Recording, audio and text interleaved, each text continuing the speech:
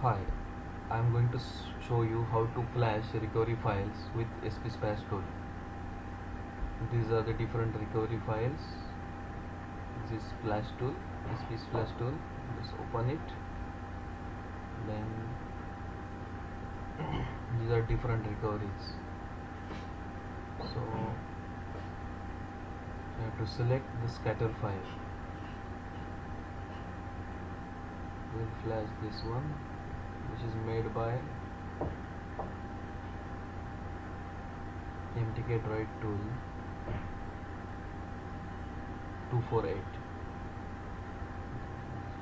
select tab scatter loading.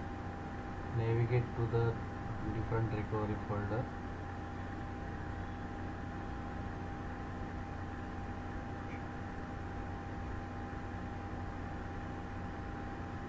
Select scatter file the recovery image is in the same folder so it will automatically select.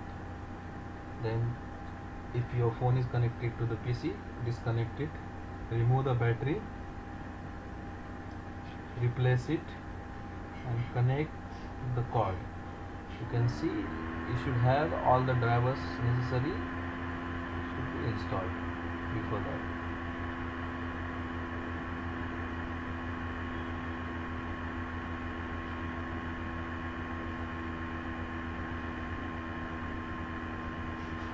click the download tab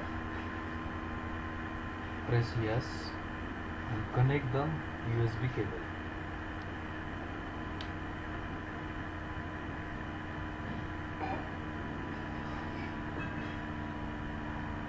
This is done. The recovery is flashed on the phone so you can disconnect the cable remove the battery place it again. You can do, uh, see the phone is booting then you can again shut down. If you want to enter in recovery mode then shut down the phone press power button press volume up button and then you will enter in recovery mode.